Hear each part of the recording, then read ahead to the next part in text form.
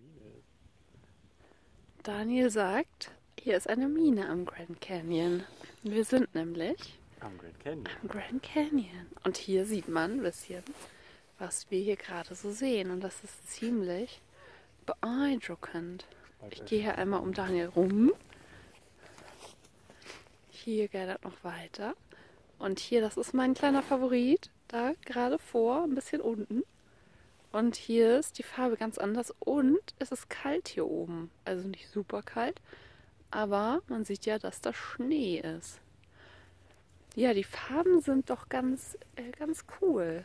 Und die Form einfach von den Steinen, diese kleinen Hütchen.